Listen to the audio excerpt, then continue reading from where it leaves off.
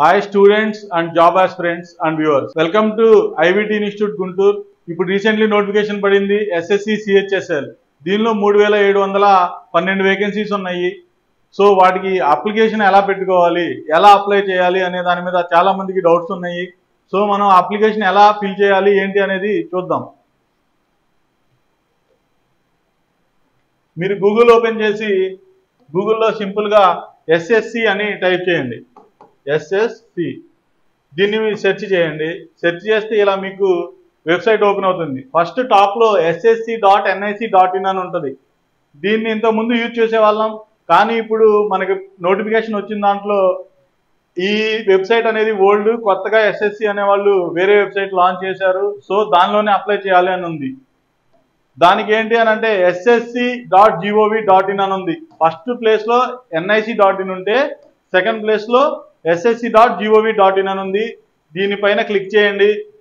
Click చేస్తే ఇక్కడ మీకు నోటీస్ బోర్డులో ఇక్కడ మీకు నోటిఫికేషన్ అనేది ఉంది. ఇక్కడ క్లిక్ చేస్తే మీకు నోటిఫికేషన్ డౌన్లోడ్ అయిపోతుంది ఈ ఐఐకాన్ మీద. అది నిన్న దీనికి వీడియో విడిగా చేశాను. ఆ నోటిఫికేషన్ రిలేటెడ్ ఎవరికైతే ఇన్ఫర్మేషన్ తెలియదో దాని గురించి తెలుసుకోవాలనుకున్నారో డిస్క్రిప్షన్లో లింక్ ఇస్తాను.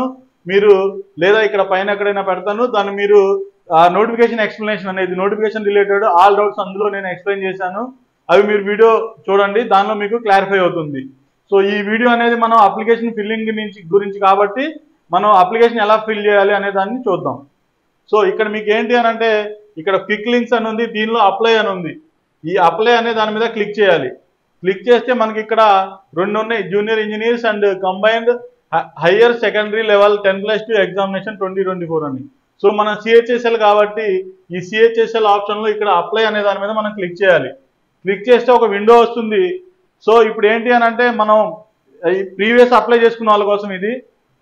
ఎస్ఎస్సి డాట్ ఎన్ఐసి డాట్ ఇన్లో వాళ్ళు ఓటీఆర్ అనేది క్రియేట్ చేశారు వన్ టైం రిజిస్ట్రేషన్ కానీ అది ఇప్పుడు ఈ జిఓవి డాట్ ఇన్ అనే వెబ్సైట్కి అప్లికబుల్ కాదు. ఇక్కడ మళ్ళీ ఫ్రెష్గా హండ్రెడ్ పర్సెంట్ క్రియేట్ చేయాల్సిందే. సో ఇప్పుడు ఫస్ట్ స్టెప్ ఏంటి అని అంటే మనం రిజిస్టర్ అవ్వాలి. ఓటీఆర్ అనేది క్రియేట్ చేసుకోవాలి. వన్ టైం రిజిస్ట్రేషన్ అనేది చేయాలి. సో లాగిన్ అనేది ఎవరైనా ఆల్రెడీ రిజిస్టర్ అయ్యి ఉంటే వాళ్ళు ఇక్కడ లాగిన్ అవ్వాలి. లేదు అని అంటే కనుక మనం ఇక్కడ రిజిస్టర్ నవ్ అనే దాని మీద క్లిక్ చేస్తే కొత్త విండో ఓపెన్ అవుతుంది. వన్ టైం రిజిస్ట్రేషన్ అనేది ఉంది. ఈ వన్ టైం రిజిస్ట్రేషన్ అనే దానిలో ఇక్కడ ఒక నోటీస్ ఇచ్చాడు. దీన్ని మనం కంటిన్యూ నొక్కితే ఇక్కడ మనల్ని ఒక ఫామ్ ఓపెన్ అవుతుంది అనమాట ఈ ఫామ్ ఓపెన్ అయినప్పుడు ఈ ఫామ్లో మనం డీటెయిల్స్ అనేవి ఫిల్ చేయాలి.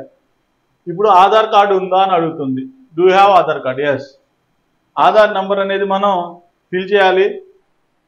ఓ ఆధార్ ఉన్న వాళ్ళు ఇలా ఫిల్ చేయండి. ఎవరైనా సరే నేను ఆధార్ ఇవ్వను అని అనుకున్న వాళ్ళు కనుక ఉంటే మీరు ఇక్కడ నో అనే ఆప్షన్ చూస్ చేసుకోవాలి. నో అనే ఆప్షన్ చూస్ చేసుకుంటే ఇక్కడ టూలో టైప్ ఆఫ్ ఐడెంటిఫికేషన్ అడుగుతుంది. ఇక్కడ మీరు ఏంటి అని అంటే డ్రైవింగ్ లైసెన్స్ ఏదన్నా గవర్నమెంట్ జాబ్ ఎంప్లాయ్ అయితే employment ID PAN card passport దాని తర్వాత మీరు స్కూల్ ఐడి కార్డు ఉంటే school ID card voter ID card ఉంటే ఓటర్ ఐడి కార్డు ఏది కావాలి అంటే అది సెలెక్ట్ చేసుకొని ఇక్కడ దానికి ఏదైతే నంబర్ ఉందో ఆ నంబర్ అనేది ఇక్కడ మీరు ఎంటర్ చేయాలి. కానీ ప్రజెంట్ నేను ఏంటి అంటే నాకు ఆధార్ ఉంది కాబట్టి నేను ఆధార్ నెంబర్తోనే వెళ్తున్నాను. ఓకే?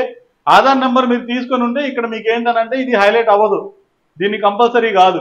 వేటికైతే ఇట్లా రెడ్ స్టార్ మార్క్స్ ఉన్నాయో అవే కంపల్సరీ ఫిల్లింగ్ అనమాట మిగతావి ఆప్షనల్ ఇంకోటి ఇది ఆప్షనల్ అయినా సరే మీరు ఫిల్ చేయాలి అని అంటే ఇక్కడ ఆప్షన్ అనేది రాదు. మీరు వన్స్ ఇక్కడ ఐడెంటిఫికేషన్ ఆధార్ అనేది యూనిక్ కాబట్టి అది ఇచ్చిన తర్వాత ఇంకేది రిక్వైర్మెంట్ లేదు.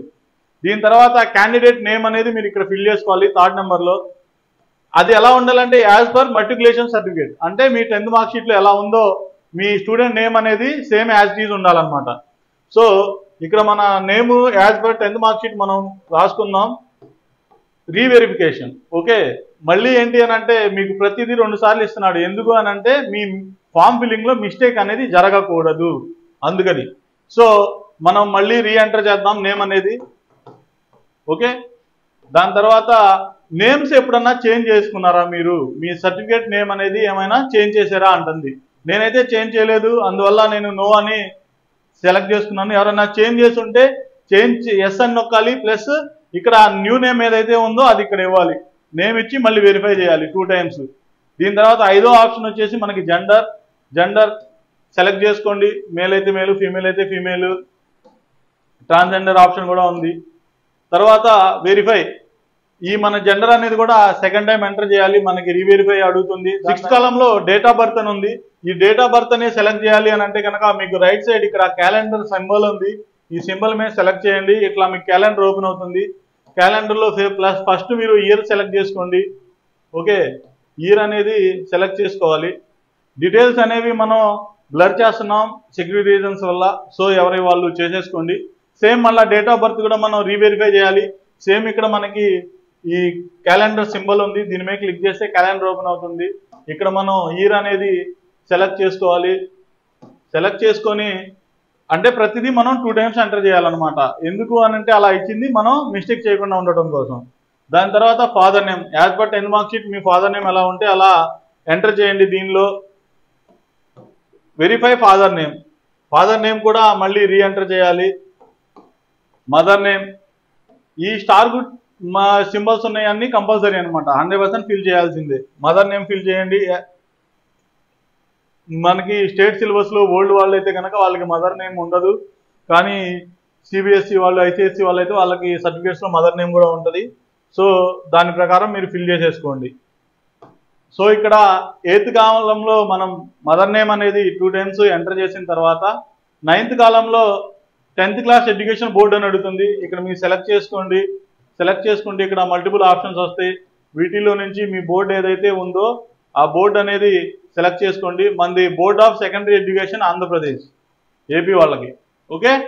అది నేను సెలెక్ట్ చేసుకున్నాను. దాని తర్వాత వెరిఫై అంటుంది ఎడ్యుకేషన్ బోర్డుది. ఇక్కడ మళ్ళీ సెలెక్ట్ చేసుకొని దీనిలో మీరు కన్ఫ్యూజ్ అవ్వద్దు. ఆంధ్రప్రదేశ్ ఓపెన్ స్కూల్ ఉంది. ఇది గమనించుకోండి. ఓపెన్ వాళ్ళు మాత్రమే అందులో పెట్టుకోవాలి. లేదంటే మళ్ళీ రాంగ్ అయింది board of secondary education Andhra Pradesh ఇది సెలెక్ట్ చేయండి. టెన్త్ మ్యాక్సిమం అందరూ అదే ఉంటారు. దీంతో మీ టెన్త్ రోల్ నెంబర్ అనేది ఎంటర్ చేయండి. ఆ వెరిఫై చేయండి ఆ రోల్ నెంబర్ని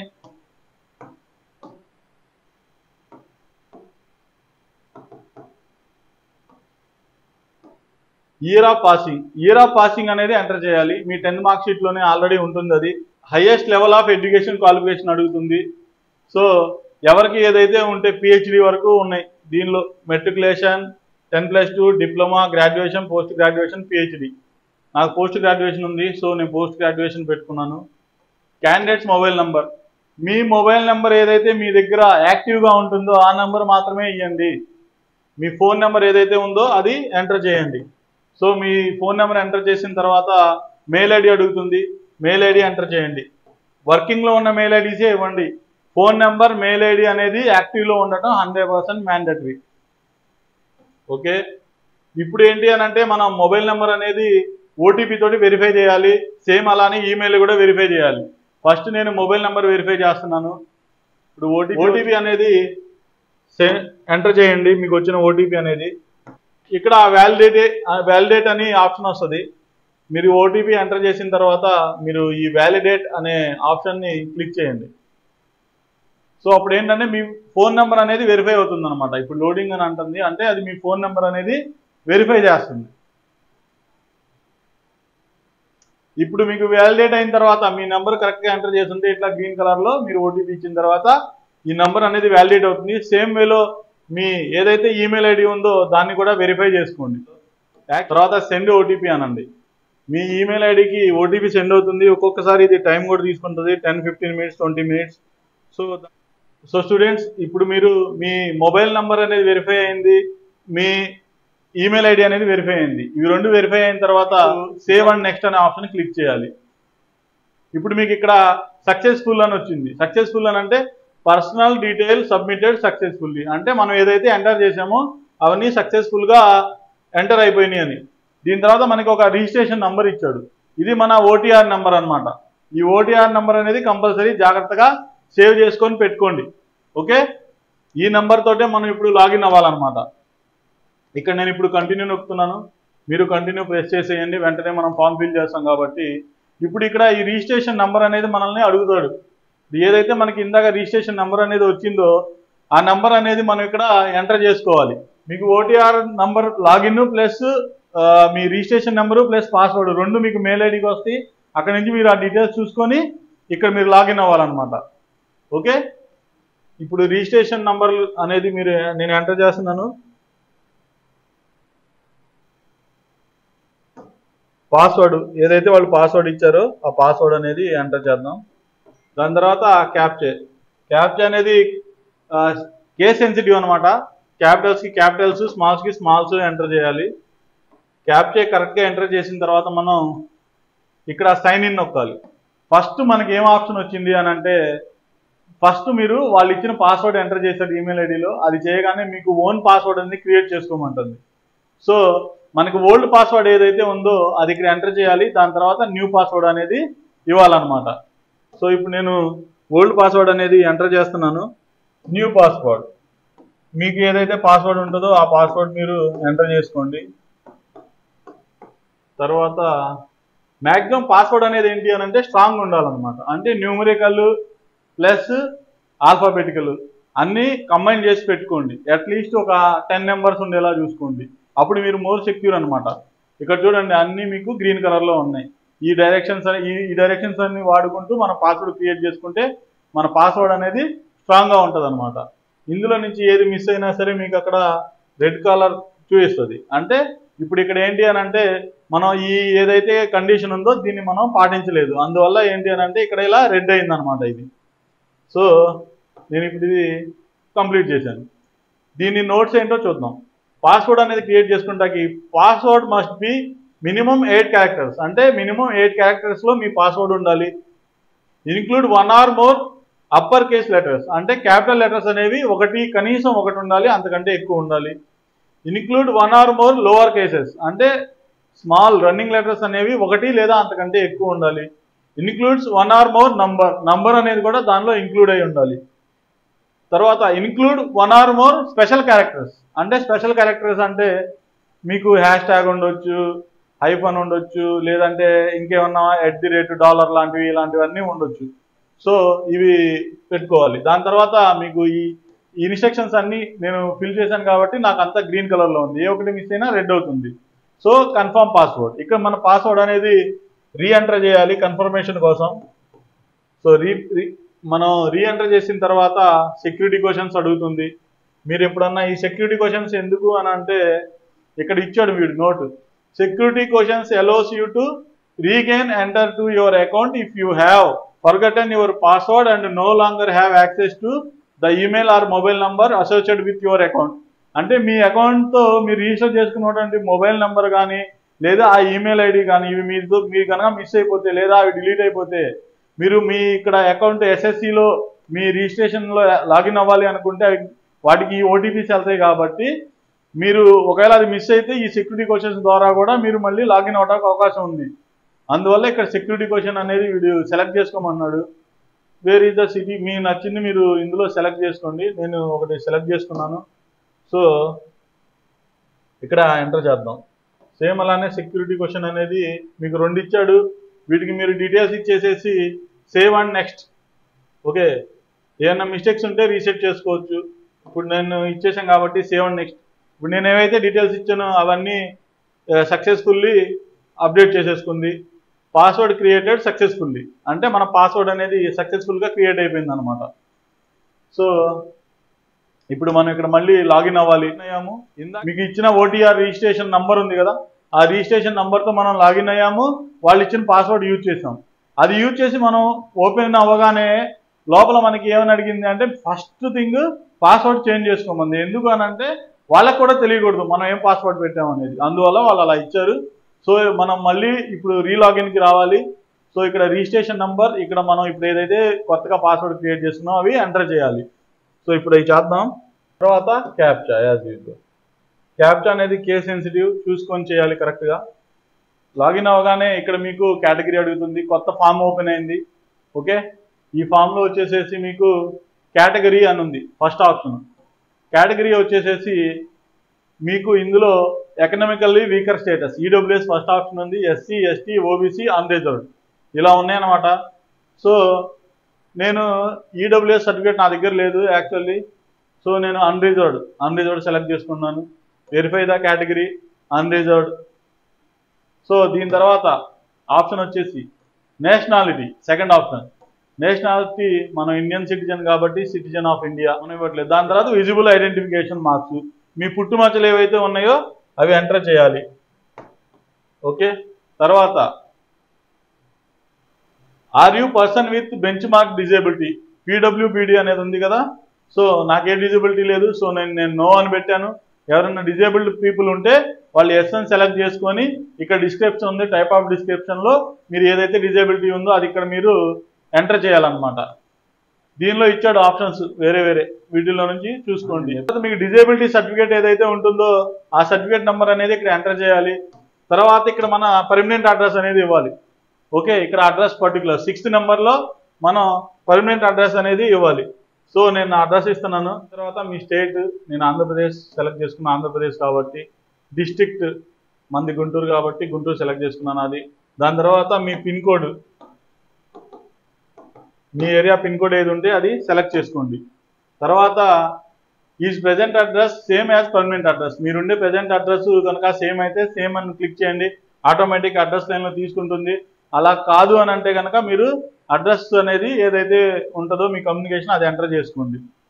ఓకే దీని తర్వాత మళ్ళీ సేవ్ అండ్ నెక్స్ట్ ఆప్షన్ మళ్ళీ. ఇక్కడ మనకి సక్సెస్ఫుల్ ఉంది. అంటే ఎవ్రీ పేజ్ కంప్లీట్ అయిన తర్వాత మీకు ఇట్లా సక్సెస్ అని వస్తుంది. దాని కింద మీ డీటెయిల్స్ అన్ని సక్సెస్ఫుల్లీ సేవ్ అయినాయి అని చెప్పి వస్తుంది. దీనికి ఓకే నెక్స్ట్ ఆప్షన్ డిక్లరేషన్ అనమాట one time registration declaration first point వచ్చేసి I hereby declare that the information given by me in this form is true complete and correct to the best of my knowledge and belief అంటే నేను ఏదైతే ఈ ఫామ్స్లో నా details అనేవి enter చేశానో అవన్నీ సత్యము అని చెప్పి మనం డిక్లరేషన్ ఇస్తున్నాం.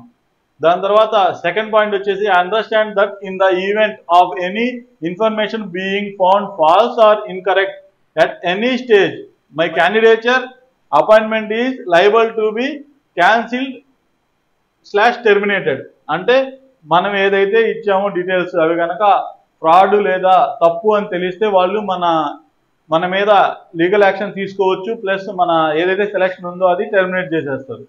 ఈ బాక్స్ అనేది ఐ అగ్రీ అనే బాక్స్ని I agree term and conditions అనే బాక్స్ని టిక్ చేసి తర్వాత ఫైనల్గా మనం ఈ డిక్లరేషన్ ఇచ్చే ముందు ఒకసారి చెక్ చేసుకోవచ్చు అనమాట. ఇక్కడ ప్రివ్యూ ఓటీఆర్ అనే ఆప్షన్ ఇచ్చాడు.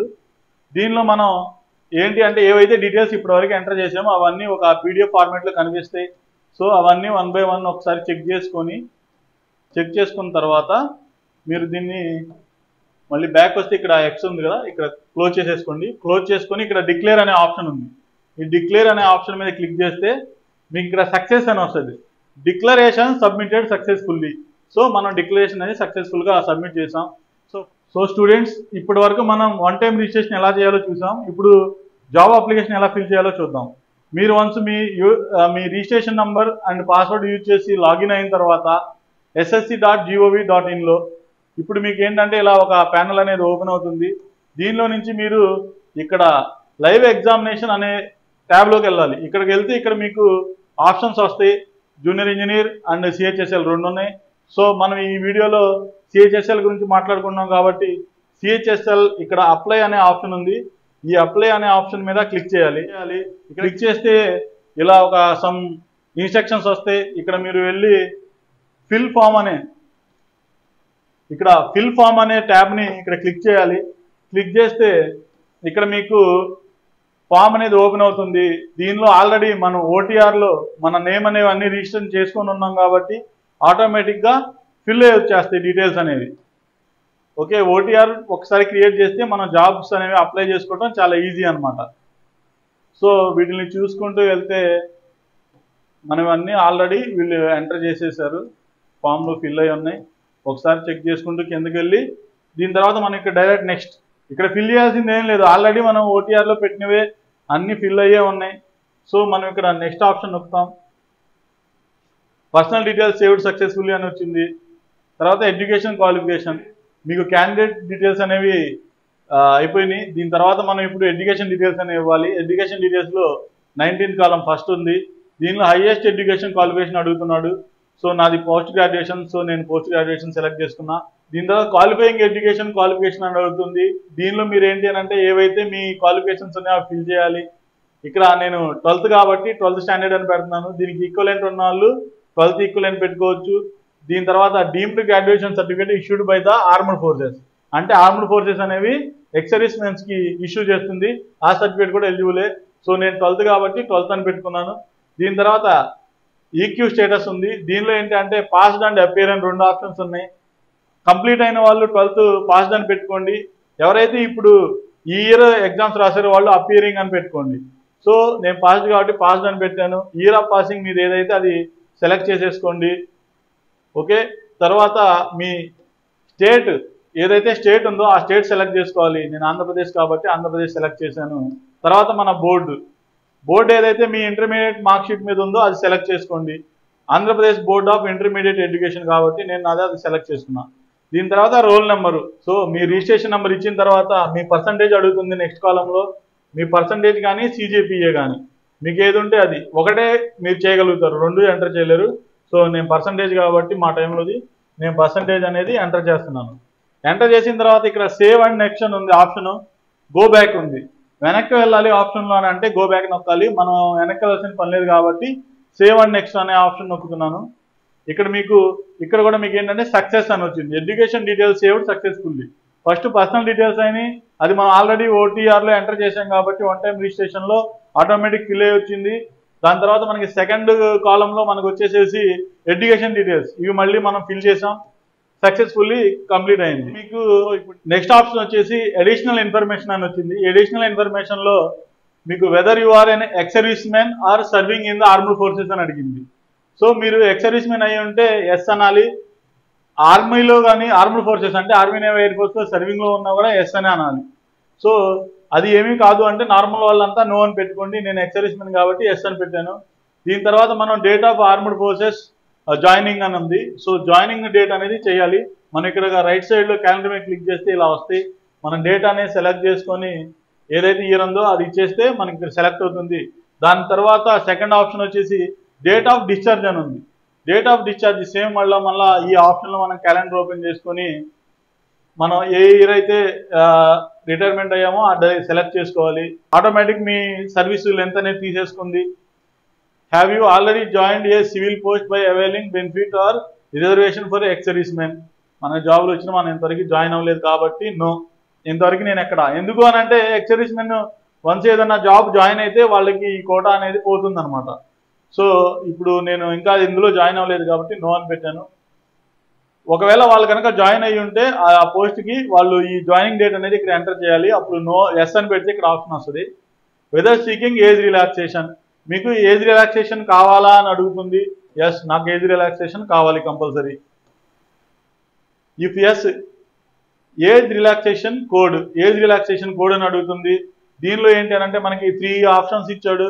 First option ex service men నేను ఆ category age relaxation applicable then code అంటుంది. దీనిలో సిక్స్త్ ఎక్స్ సర్వీస్ మెన్ అనేది సెలెక్ట్ చేసుకోవాలి. ఇది కాకుండా ఎవరన్నా సెంట్రల్ గవర్నమెంట్ ఎంప్లాయీస్ ఉంటే minimum three years service complete అయి ఉండాలి. వాళ్ళకు కూడా ఏజ్ రిలాక్సేషన్ ఉంది.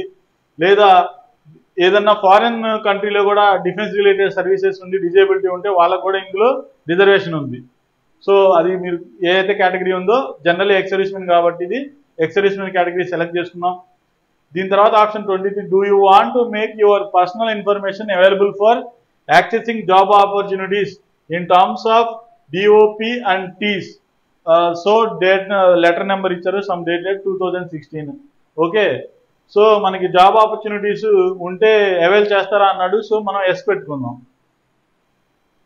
పర్సనల్ ఇన్ఫర్మేషన్ జాబ్ జాబ్స్ కోసం ఇవ్వాలి అంటే గవర్నమెంటే కాబట్టి మనకేం ఇష్యూ లేదు ఇవ్వచ్చు. దీని తర్వాత ఇక్కడ సేవ్ అండ్ నెక్స్ట్ ఆప్షన్ ఉంది. సెలెక్ట్ చేస్తున్నాను. ఇక్కడ మళ్ళీ సక్సెస్ఫుల్. సో ఇప్పుడు మనం ఎడిషనల్ ఇన్ఫర్మేషన్ టూలోకి వచ్చాము. ఎడిషనల్ ఇన్ఫర్మేషన్ వన్లో మన ఎక్సరిస్మెంట్ డీటెయిల్స్ అడిగింది అది ఫిల్ చేసాం సో ఇప్పుడు ఎడిషనల్ ఇన్ఫర్మేషన్ టూలో ఫస్ట్ ప్రిఫరెన్స్ వన్ అని ఇచ్చాడు. ప్రిఫరెన్స్ ఆఫ్ ఎగ్జామ్ సెంటర్స్ అని ఇచ్చాడు హెడింగ్ ఎగ్జామ్ సెంటర్స్ ప్రిఫరెన్స్లు మనం ఇక్కడ పెట్టుకోవాలి. దీనిలోంచి మనకి ఏంటంటే మూడు ప్రిఫరెన్స్లకి ఛాన్స్ ఉంది.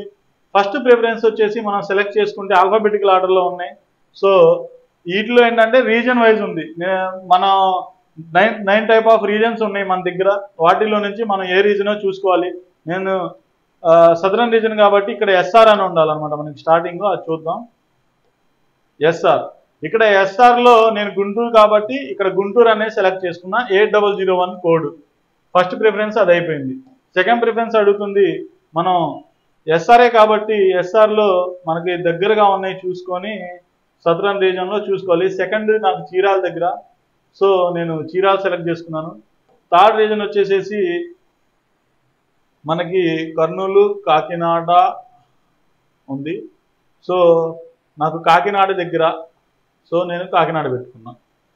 మిగతా మీకు తెలంగాణ వాళ్ళు కనుక అయ్యి ఉంటే కనుక మీకు కరీంనగర్ ఉంది హైదరాబాద్ ఉంది రెండు ఉన్నాయి. సో నాకు వచ్చేసేసి కాకినాడ కాబట్టి నేను కాకినాడ పెట్టుకున్నా ఓకే. సో ఇప్పుడు మీరు preference of examination centres three select చేసుకున్న తర్వాత నెక్స్ట్ ఆప్షన్ వచ్చేసేసి మనకి మీడియం అనేది కన్ఫర్మ్ చేయమంటుంది. సో మనం తెలుగు వాళ్ళం కాబట్టి తెలుగు అనేది సెలెక్ట్ చేసుకుంటాం కదా. తెలుగు అనే లాంగ్వేజ్ సెలెక్ట్ చేస్తున్నా దానికి కన్ఫర్మేషన్ అడుగుతుంది. మళ్ళీ మనం తెలుగు అని సెలెక్ట్ చేసుకోవాలి. Two times ఇవ్వాలన్నమాట.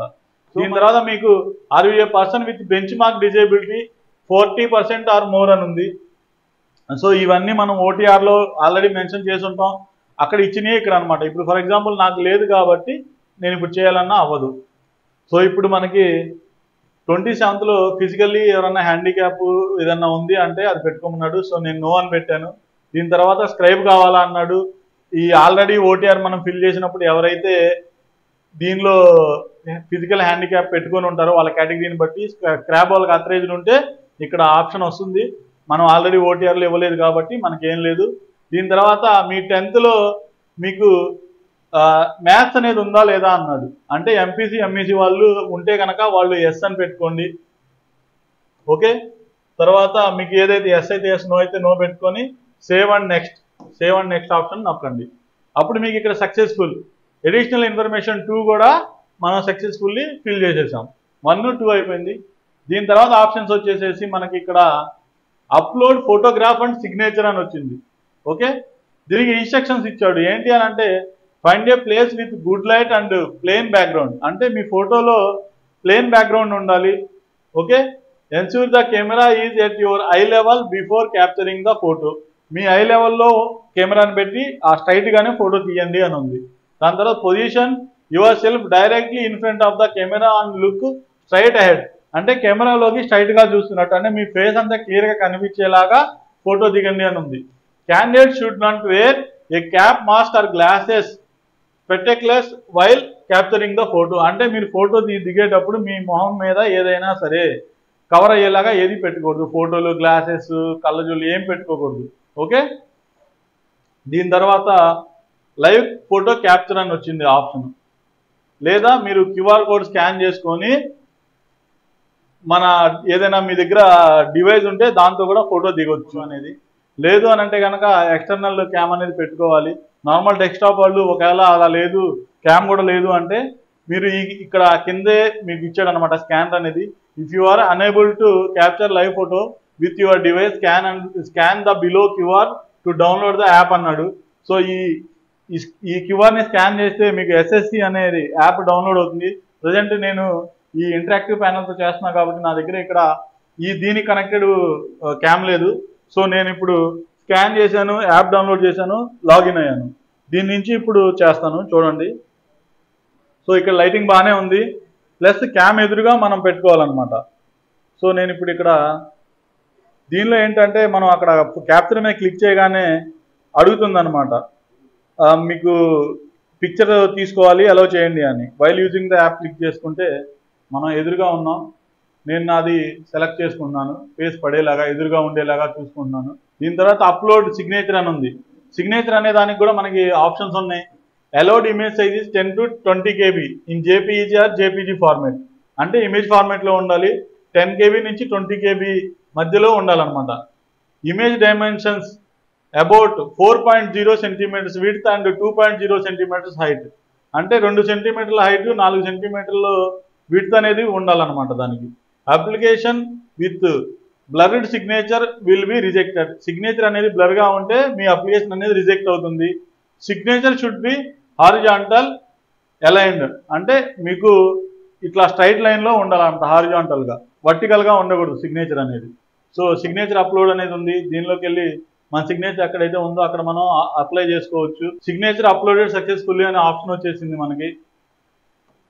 ఫోటో నేను యాప్ నుంచి అప్లోడ్ చేశాను. Save and next.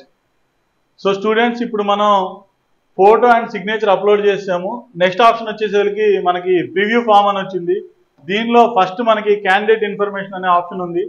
దీనిలో మనకి ఏంటంటే మన candidate name father name mother name date of birth age automatic తీసుకుంది. దాని తర్వాత మేలా ఫీమేలా కేటగిరీ రిజర్వ్డా అన్రిజర్వ్డా. తర్వాత ఇండియన్ సిటిజన్ ప్లస్ మీ ఐడెంటిఫికేషన్ మార్క్స్. దాని తర్వాత మీ క్వాలిఫికేషన్స్. మీ టెన్ మార్క్ షీట్స్ ఏవైతే రీ రోల్ నెంబర్ ఉంటే అవి ప్లస్ మీ అడ్రస్ ఇలా అన్నీ ఉన్నాయి. చెక్ చేసుకోండి ఒకసారి. మీ మెయిల్ ఐడి మీ ఫోన్ నెంబర్ తర్వాత మీ హయ్యెస్ట్ క్వాలిఫికేషన్ ప్లస్ మీ ఈ జాబ్కి కావాల్సిన క్వాలిఫికేషను పాస్ అవుట్ ఇయర్ ఏ బోర్డు నుంచి పాస్ అయ్యారు ప్లస్ మీ రోల్ నెంబర్ పర్సంటేజ్ ఎంత వచ్చింది? దాని తర్వాత అడిషనల్ ఇన్ఫర్మేషన్ ఇందా ఫిల్ చేశాం కదా? సేమ్ అదంతా చెక్ చేసుకోండి. ఎక్స్ సర్వీస్మెన్ అవునా కాదా? ఒకవేళ అయితే కనుక ఎక్స్ సర్వీస్మెన్ ఏ డేట్లో జాయిన్ అయ్యారు ఏ డేట్లో రిటైర్ అయ్యారు ఎంత సర్వీస్ అయిపోయింది? దాని తర్వాత ఇవన్నీ మనం ఏవైతే ఫిల్ చేసాం ప్లస్ మన preferences examination print centres preferences అనేది ఒకసారి కంపల్సరీ చెక్ చేసుకోండి. ఓకే ఏపీ కాబట్టి నేను గుంటూరు కాబట్టి గుంటూరు చీరాల కాకినాడ పెట్టుకున్నాను నాకు దగ్గర కాబట్టి. తర్వాత మీరు ఎగ్జామ్ అనేది ఏ మీడియంలో ఇస్తున్నారో అది ఒకటి కంపల్సరీ సెలెక్ట్ చేసుకోండి. ఎవరు ఏ లాంగ్వేజ్ కంఫర్టబుల్ అయితే ఆ లాంగ్వేజ్ పెట్టుకోండి. ట్వంటీ త్రీ లాంగ్వేజెస్లో ఎగ్జామ్ అనేది ఉంది. సో మీరు దేనికి కావాలంటే అది పెట్టుకోండి. డిజేబిలిటీ ఉన్న వాళ్ళు డిజేబిలిటీస్ ఇందులో షో చేసుకోవచ్చు. దాని తర్వాత అప్లోడెడ్ డాక్యుమెంట్స్ మనం ఏదైతే ఫోటో అప్లోడ్ చేసామో లైవ్ ఫోటో అన్నమాట. ఏదో ఫోటో దిగి స్టైల్గా ఫోటో అప్లోడ్ చేస్తాంటే కుదరదు. సిగ్నేచర్ ఫోటో అప్లోడ్ చేసాము ఇప్పుడు నెక్స్ట్ అన్ని చెక్ చేసుకున్న తర్వాత సేవ్ అండ్ నెక్స్ట్. ఇప్పుడు మనకేంటంటే డిక్లరేషన్ వచ్చింది. డిక్లరేషన్లో మనకి సమ్ నోటీస్ ఇచ్చాడు చదువుదాం. ఫస్ట్ ఫస్ట్ వచ్చేసి I have read the notice of examination and accept all the terms and condition mentioned there in so మనం ఏదైతే నోటిఫికేషన్ ఉందో దాన్ని కంప్లీట్లీ చదివాము అర్థం చేసుకున్నాము దానిలో ఉన్న టర్మ్స్ అండ్ కండిషన్స్ అన్ని మనం యాక్సెప్ట్ చేస్తున్నాము. ఐ సెకండ్ పాయింట్ వచ్చేసి I hereby declare that all the statements made in this application are true complete and correct to the best of my knowledge and belief.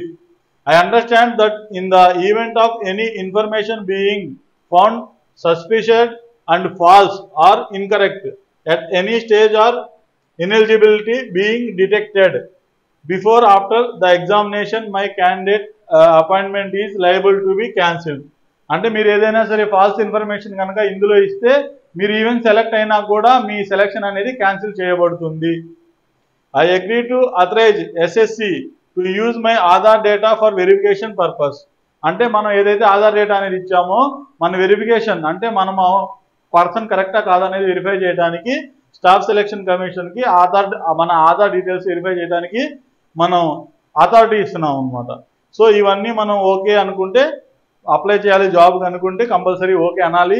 So I agree అనేది select చేసుకొని ఇక్కడ మనం captcha ఇవ్వాలి. Captcha అనేది case sensitive కాబట్టి క్యాపిటల్స్కి capitals enter చేయాలి స్మాల్స్కి small అనేది ఎంటర్ చేయాలి. క్యాప్చా ఎంటర్ చేసి మళ్ళీ సేవ్ నెక్స్ట్. ఇప్పుడు మీకు form received successfully content verification pending. అంటే మీరు ఏదైతే అప్లికేషన్ ఫిల్ చేశారో అది సక్సెస్ఫుల్లీ సబ్మిట్ అయిపోయింది. ఇప్పుడు వాళ్ళు వెరిఫై చేసుకుంటారు. సో మీకు ఇంతటితోటి ఇది అప్లికేషన్ ప్రాసెస్ అనేది కంప్లీట్ అయినట్టు. ఒకవేళ మీరు ఫిల్ చేసిన ఫామ్లో ఏమన్నా మిస్టేక్స్ ఉంటే వాళ్ళు మీకు మెయిల్ చేస్తారు మీకు మెసేజ్ చేస్తారు. ఆ డీటెయిల్స్ వస్తే అవి చూసుకొని మీరు చేసుకోవడమే. సో నెక్స్ట్ ఏంటంటే డాష్బోర్డ్కి వెళ్ళిపోవాలి డాష్ బోర్డ్కి వెళ్ళొచ్చు. లేదు అంటే మనం ఫామ్ ఫిల్ చేసిన తర్వాత మనం ప్రింట్ చేసుకుంటాం కాబట్టి మాట ఇక్కడ మనం ప్రింట్ నొక్కితే ప్రింట్ ఆప్షన్ వచ్చింది. ప్రింటర్ ఉన్నాళ్ళు ప్రింటర్ తీసుకోవచ్చు. లేదు అని అంటే పీడిఎఫ్లో సేవ్ చేసుకోవాలనుకుంటే సేవ్ చేసుకోవచ్చు. దీనిలో ఇంకొక పాయింట్ మీరు గమనించదగింది ఏంటి అని అంటే ఇప్పుడు నేను ఎక్సర్విస్మెన్ కేటగిరీలో అప్లై చేశాను కాబట్టి నాకు పేమెంట్ అనే ఆప్షన్ రాలేదు. లేదు అని అంటే కనుక మిగతా క్యాండిడేట్స్కి పేమెంట్ ఆప్షన్ వస్తుంది. ఆటోమేటికల్లీ అది మీకు హండ్రెడ్ రూపీస్ పే చేయమని అడుగుతుంది పైన సబ్మిషన్కి అక్కడ మీరు ఆ ఆప్షన్లోకి వెళ్ళిపోయిన తర్వాత అందులో మన నోటిఫికేషన్లో ఉన్నట్టు మన యూపీఐ ద్వారా కానీ లేదా నెట్ బ్యాంకింగ్ ద్వారా కానీ లేదా క్రెడిట్ కార్డ్ డెబిట్ కార్డ్ ద్వారా కానీ ఆ హండ్రెడ్ రూపీస్ అనేది పే చేసేసేస్తే మీ అప్లికేషన్ అనేది ప్రాసెస్ అయిపోతుంది. సో ఇప్పుడు వాళ్ళు ఏంటి అని అంటే మనం ఇచ్చిన డీటెయిల్స్ అన్ని వెరిఫై వెరిఫై చేసుకొని మళ్ళీ మనకు ఇంకొకసారి కన్ఫర్మేషన్ ఇస్తారు. ప్రజెంట్ అయితే మన అప్లికేషన్ అనేది సబ్మిట్ అయింది. సో ఇక్కడికి వచ్చిన తర్వాత ఇందాక మనం లైవ్ ఎగ్జామ్ ఎగ్జామినేషన్స్లోకి వెళ్ళి ఇక్కడ అప్లై మీద క్లిక్ చేసి అప్లై చేసుకున్నాం. ఇప్పుడు మై అప్లికేషన్స్లోకి వెళ్తే కనుక మనం ఏదైతే ఇందాక ఇక్కడ బ్లాంక్ వచ్చింది ఇప్పుడు చూడండి మనం అప్లై చేసిన అప్లికేషన్ అనేది ఇక్కడ మనకి చూపిస్తుంది. ప్రింట్ కావాలి అనుకుంటే ఇక్కడ ప్రింట్ అప్లికేషన్ స్టేటస్ చూడాలి అంటే అప్లికేషన్ స్టూడెస్ స్టేటస్ మీద మనం క్లిక్ చేయొచ్చు. ఇక క్లిక్ చేస్తే ఏమైనా వచ్చింది నాకు? రిజిస్ట్రేషన్ స్టేటస్ కంప్లీటెడ్ అంటే నా రిజిస్ట్రేషన్ అనేది కంప్లీట్ అయింది. అప్లికేషన్ స్టేటస్ అనేది సక్సెస్ అని వచ్చింది. ఓకే మనం సక్సెస్ఫుల్లీ సబ్మిట్ చేసాం. Photo and signature upload photo and signature uploaded okay మన ఫోటో అండ్ సిగ్నేచర్ అప్లోడ్ అయిపోయింది. పేమెంట్ డీటెయిల్స్ వచ్చేసేసి application ఫామ్కి notice for fees deducted please wait for forty eight hours and check again ఒకవేళ payment చేసిన వాళ్ళు ఉంటే వాళ్ళు forty eight hours లోపు check చేసుకోమంటుంది ఇందులో కన్ఫర్మేషన్ రావడం కోసం. Examination name combine higher secondary level ten plus two examination CHSL okay year of exam twenty twenty four amount hundred rupees ఇది నేను ఎగ్జామ్టెడ్ కాబట్టి నేను పే చేయలేదు కాబట్టి నాకు అవసరం లేదు కాబట్టి ఇక్కడ ఎగ్జామ్టెడ్ అని వచ్చింది. నేను ఎక్సర్విస్మెన్ కాబట్టి ఎగ్జామ్టెడ్ అని వచ్చింది. అదే పే చేసింది ఉంటే మీ పే చేసిన డీటెయిల్స్ వచ్చేవి. Okay payment status payment done అని వచ్చింది. నేను పేమెంట్ చేయాల్సిన ఆప్షన్ లేదు కాబట్టి నాకు ఆల్రెడీ నోటీస్లో ఎగ్జామ్షన్ ఇచ్చాడు కాబట్టి నోటిఫికేషన్లో సో నాకు పేమెంట్ డన్ అని వచ్చింది. ఒకవేళ మీరు పే చేస్తుంటే ఇక మీరు పేడ్ అని వచ్చేది ప్లస్ ఇక్కడ మీకు వచ్చేసేసరికి transaction number transaction date reference number వచ్చేది. ఓకే దీన్ని కూడా మనం ప్రింట్ తీసుకోవచ్చు అనమాట కావాలి అంటే ప్రింట్ తీసుకుంటాం. సో ఈ విధంగా కంప్లీట్లీ నేను ఇన్ డెప్త్ ఎవ్రీథింగ్ అనేది డీటెయిల్గా చెప్పాను. అయినా సరే ఇంకా ఎవరికన్నా ఫామ్ ఫిల్లింగ్లో డౌట్ ఉంది అని అంటే కనుక మీకు నేను ఫోన్ నెంబర్ చెప్తాను మన ఐబీటీది ఆ నెంబర్కి కాల్ చేయండి. హండ్రెడ్ పర్సెంట్ నేను మీకు హెల్ప్ చేస్తాను. మన ఫోన్ నెంబర్ వచ్చేసి seven three eight six triple nine five three five seven three eight six triple nine five three five మనం ఐబీటీ ఇన్స్టిట్యూట్లో హైలీ ఎక్స్పీరియన్స్డ్ ఫ్యాకల్టీస్ ఉన్నారు. హైలీ క్వాలిఫైడ్ ఫ్యాకల్టీస్ ఉన్నారు. విత్ అప్డేటెడ్ మెటీరియల్ తోటి మనం ఇక్కడ ప్రిపరేషన్ అనేది చేస్తున్నాము. మీకు డిజిటల్ క్లాస్ బోర్డ్స్ ఉంటాయి. ప్లస్ మీకు ఎవ్రీ కంటెంట్ అప్డేటెడ్ అనమాట ప్రతిరోజు ఆఫ్లైన్ ఎగ్జామ్ ఉంటుంది. ప్లస్ ఎవరైతే ఇక్కడికి రాలేరో వాళ్ళకి ఆన్లైన్ ఎగ్జామ్ ఉంటుంది. ప్లస్ మంత్లీ మీ ప్రోగ్రెస్ రేటింగ్ కోసం మంత్లీ గ్రాండ్ టెస్ట్ ఉంటుంది. ప్లస్ మన మేక్ మై ఎగ్జామ్ అని మా ఓన్ యాప్ ఉంది. ఆ యాప్లో ప్రతి ఒక్క కేటగిరీలో ప్రతి ఒక్క పోస్ట్కి sixty to seventy exams at a time రెడీగా ఉంటాయి. అవి కూడా హైలీ ప్రొఫెషనల్లీ ఫ్యాకల్టీస్ అనేవి ప్రిపేర్ చేసినవి.